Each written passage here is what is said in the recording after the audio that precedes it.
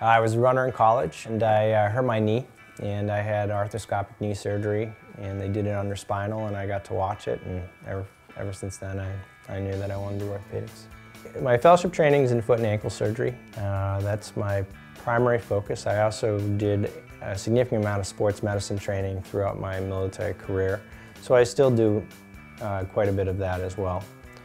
Uh, for sports medicine, I'll do shoulders and knee surgeries, uh, reconstructions. But for foot and ankle, I do a whole gamut of foot and ankle with reconstructive surgery, for trauma, for arthritis. Uh, um, I concentrate on a lot of the more difficult aspects of foot and ankle surgery. The reason I went into that, because I felt that it was a under uh, served area in orthopedics. Uh, most orthopedic surgeons aren't that interested in foot and ankle surgery.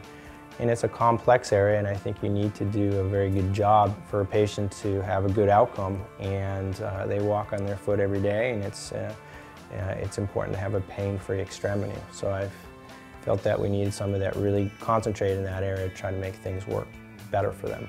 I try to keep up to date on uh, where our foot and ankle is going, so I'm doing joint replacements now and um, arthroscopic care and uh, all those things I really enjoy doing.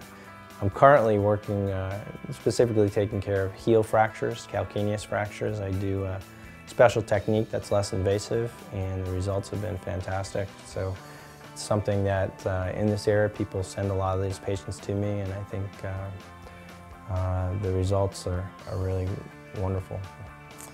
I think we're continuing to carve out a, a big marketplace and I think we're going to continue to grow as the area grows. I think we are doing the right things strategically to care for our patients and to give them uh, the most up-to-date care and access to care as we can.